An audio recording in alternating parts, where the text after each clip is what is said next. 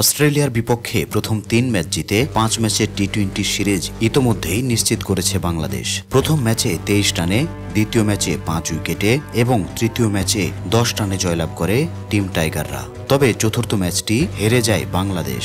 দুদলের মধ্যকার পঞ্চম T twenty ম্যাচটি আজ অনুষ্ঠিত হবে। চতুর্থ ম্যাচ হারায় এখন আর পাঁচ শূন্য করার সম্ভাবনা নেই ঠিকই। তবুও অস্ট্রেলিয়াকে চার এক ব্যবধানে হারানোর সুযোগও নিশ্চিতভাবেই হাতছাড়া করতে চাইবে না বাংলাদেশ। অস্ট্রেলিয়ানদের সবচাইতে ভয়ের জায়গা হচ্ছে বাংলাদেশের মুস্তাফিজুর রহমান। মুস্তাফিজুর রহমানের কাটার ও স্লোয়ার ডেলিভারিতে বিধ্বস্ত অস্ট্রেলিয়ার ব্যাটসম্যানরা। পঞ্চম ম্যাচ শুরুর আগে অস্ট্রেলিয়ার অ্যাস্টন আগা রীতিমতোই মুস্তাফিজকে নিয়ে অবাক করা কথা বলেছেন।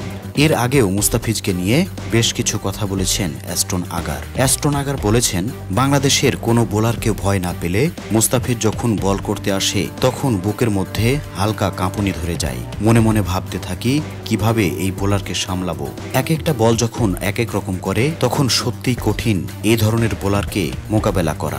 ইতিমধ্যেই অস্ট্রেলিয়ান শিবিরে মুস্তাফিজুর রহমানকে গতিময় রশিদ খান নামে নামকরণ করা হয়েছে। এই ফরম্যাটে এখনও রশিদ খানের মতো সাফল্য পাননি মুস্তাফিজুর রহমান। তবে তার কাটার ও স্লোয়ার এই প্রজন্মের ব্যাটসম্যানদের কাছে এখনও রহস্য হয়ে আছে। বিশ্বের কিছু জায়গায় মুস্তাফিজের প্রধান অস্ত্র cutter slower, off cutter, slower cutter খুব একটা কাজ না করলেও মিরপুর শেরেবাংলা জাতীয় ক্রিকেট স্টেডিয়ামে এসব ডেলিভারির কারণে অপ্রতিরোধ মুস্তাফিজ। গত চার ম্যাচেই তার প্রমাণ দিয়েছে মুস্তাফিজ। মুস্তাফিজকে নিয়ে অস্ট্রেলিয়ান অ্যাস্টন আগারের এই কথাগুলো আপনারা কীভাবে দেখছেন, অবশ্যই কমেন্টস করে জানাবেন। সত্য খবর সবার আগে পেতে মিডিয়া হার্টকে সাবস্ক্রাইব করুন।